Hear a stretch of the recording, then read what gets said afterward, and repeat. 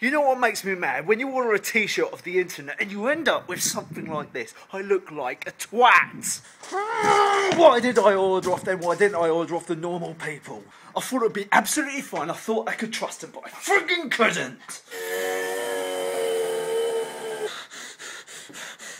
Calm down and I'll tell you about the normal company I usually order from and that you should too.